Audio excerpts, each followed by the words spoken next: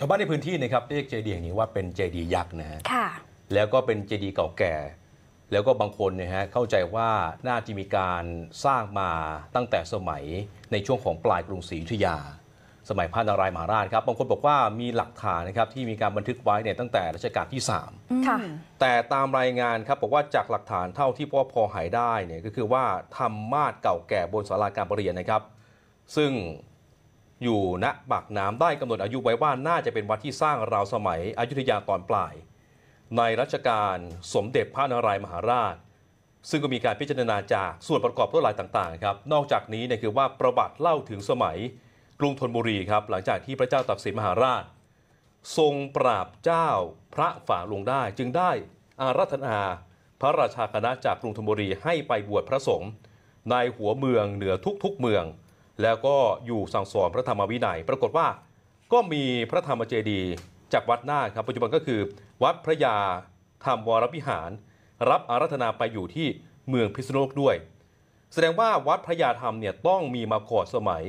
รุงธนบุรีอย่างแน่นอนเนี่ยตามรายงานก็บอกว่าอย่างนั้นนะฮะค่ะ อย่างที่คุณธีรเดชบอกคุณผู้ชมค่ะ ว่าครัจบริง ๆ แล้วเนี่ยถ้าจะพูดถึงชาวบ้านเนี่ยเขาเรียกกันว่าเจดียักษ์นะคะค่ะเนื่องจากว่ารูปทรงของเจดีย์อะค่ะ ประกอบไปด้วยนาค 8 ตัว คดชสารอีก 8 ตัวมียักษ์อีก 8 ตนนะคะ ไม่พอค่ะครับมีการปั้นประติมากรรมเป็นครุฑจับนาคอีก 4 ตัว แล้วก็มีเทพพนมอีก 8 องค์นะคะ ถือว่าเป็นเจดีย์เก่าแก่ที่มีความงดงามแล้วก็มีความแปลกตามีผู้สันนิษฐานเอาไว้ด้วยนะคะค่ะว่าเจดีย์องค์นี้เนี่ยเดิมทีอาจจะเป็นหอระฆัง แล้วก็เป็นของเก่าของแก่นะคะทางวัดพระยาธรรมมีการขึ้นทะเบียนเป็นโบราณสถานแล้วอะนะคะ แต่ว่าจากการตรวจสอบล่าสุดของอธิบดีกรมศิลปากรเนี่ยค่ะระบุว่าการพังถล่มลงมา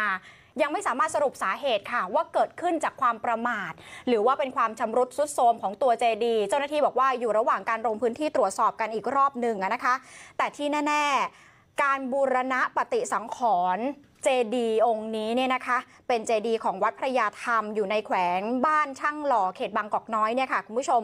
กรมศิลปากรเนี่ยเป็นเจ้าภาพ กรมศิลป์เป็นเจ้าภาพเป็นเจ้าของโครงการ แล้วก็มีการไปว่าจ้างบริษัทเอกชนบริษัทหนึ่ง ชื่อว่าบริษัท ปิยกิจจำกัดเป็นผู้รับเหมา แล้ววงเงินการบูรณะปฏิสังขรณ์ที่มีการเปิดเผยกันออกมาเนี่ยประมาณ8ล้าน5แสน6หมื่นกว่าบาท แล้วเริ่มดำเนินการตั้งแต่เดือนพฤษภาคมในช่วงเวลาที่ผ่านมาก็คือปี 2561 เนี่ยนะคะ จะมีการสิ้นสุดโครงการครับในช่วงเดือนมกราคมปีหน้าปี 2562 ค่ะฮะค่ะ เมื่อวานนี้ในระหว่างการลงพื้นที่ของคณะของวิศวกรรมสถานแห่งประเทศไทยนะคะ ทางด้านรองศาสตราจารย์อเนกสิริพานิชกร เป็นประธานสาขาวิศวกรรมโยธา ก็ออกมาระบุถึงกรณีนี้ โดยอธิบายคร่าว ๆ ให้ฟังแบบนี้ค่ะคุณผู้ชม คือโบราณเจดีโบราณสร้างมาตั้งแต่ในอดีตแล้วเนี่ยนะคะ คือในสมัยก่อนการสร้างเจดีเนี่ย มันจะไม่มีการตอกเสาเข็มพูดกันง่าย ๆ คือโครงสร้างเนี่ยค่ะถูกสร้างขึ้นมาจากอิฐทั้งหมดนะคะ ไม่สามารถที่จะระบุได้อย่างชัดเจนว่ามันมีโครงสร้างอะไรกันแน่ แต่คาดการณ์กันว่าไม่ได้มีโครงสร้างอยู่ภายใน ไม่ได้มีการตอกเสาเข็ม เพราะฉะนั้นอาจารย์บอกว่าก็มีความเสี่ยงอยู่แล้ว ว่าเจดีอาจจะซุดตัวยุบตัวหรือว่าถ้าเกิดว่าเกิดการผุกร่อน ตามช่วงเวลาที่ผ่านพ้นไปก็อาจจะเกิดเหตุในลักษณะทำนองนี้ขึ้นมาได้ โดยหลังจากนี้ก็ต้องวางแผนกันอีกครั้งหนึ่ง แต่ว่าในเบื้องต้นแม้ว่า ยังรอคำตอบจากวิศวกรที่จะลงพื้นที่ไปตรวจสอบอีกครั้งหนึ่งเนี่ยนะคะ แต่เบื้องต้นทางด้านวิศวกรรมสถานแห่งประเทศไทยเขาคาดการ บอกว่า น่าจะเกิดมาจากเครื่องมือที่ใช้ในการยกตัวฐาน อาจจะเกิดความผิดพลาด ครับเพราะว่าในนาทีที่ซุดตัวแล้วก็พังถล่มเนี่ยค่ะเป็นช่วงเวลาที่กำลังอยู่ระหว่างการยกตัวฐานเจดีเนี่ยค่ะขึ้นไปหลังจากที่ก่อนหน้านี้ ตามรายงานก็คือซุดตัวลงมาประมาณ 1 เมตรกว่าๆเนี่ยนะคะ ค่ะ แต่ว่าตัวเจดีไม่ได้หักมากนัก เพราะฉะนั้นก็จะมีการบริณปฏิสังขรณ์กันต่อเลย ทางด้านของ ตัวแทนของกรมศิลปากรที่ลงพื้นที่ไปบอกว่าก่อนหน้านั้นมีการสแกนกันแล้ว คือการวางแผนที่จะบริณปฏิสังขรณ์เนี่ยทำกันมาก่อนหน้านั้นหลายเดือน มีการสแกนด้วยเครื่องมือ 3D แล้วก็ตรวจสอบด้วยมือแล้วเรียบร้อยเนี่ยนะคะ ก่อนที่จะมีการวางแผนกัน หลังจากนี้ก็จะบรณะซ่อมแซมให้คลืนสู่สภาพเดิมให้ได้มากที่สุด เหมือนเดิมมากที่สุดร้อยเปอร์เซ็นต์แล้วก็ทางด้านของเจ้าหน้าที่ก็คืออธิบดีกรมศิลปากรบอกว่าผู้ที่ดำเนินการ หรือว่าผู้ที่เข้ามาทำงานรับเหมาก่อสร้างในครั้งนี้ คงจะปฏิเสธความรับผิดชอบในรอบนี้ไม่ได้แล้วครับ ประเด็นเรื่องของผู้รับเหมาการก่อสร้างนี่ครับตอนนี้ก็ถูกตั้งข้อสังเกตว่ามีบริษัทบริษัทอื่นนะครับที่เคยมีการรับเหมาไปทำหรือไปบูรณะนะฮะที่วัดใหญ่แห่งหนึ่ง แล้วก็เกิดความคือถูกตั้งข้อสังเกตว่า ได้รับมาตรฐานหรือไม่อย่างไรนะครับเป็นไปตามหลักวิชาการหรือไม่แต่ว่าตามในงานบอกว่าทุก ๆ กิจกรรม หรือว่าทุก ๆ การกระทำการบรูรณะนะฮะก็จะมีผู้เชี่ยวชาญ จากกรมศิลปากรเนี่ยคอยที่จะไปดูแลอย่างต่อเนื่องอย่างเช่นเหตุการณ์นี้ด้วยเหมือนกันนะครับแล้วก็มีการตั้งประเด็นนะครับว่าบริษัทนี้เนี่ยฮะมีการจดทะเบียนบริษัทว่ารับเหมาก่อสร้างอาคารบ้านเรือน และที่ผมบอกว่ามีการไปจดทะเบียน หรือว่าไปทำบูรณะวัดใหญ่แห่งหนึ่งนะครับ ก่อนหน้านี้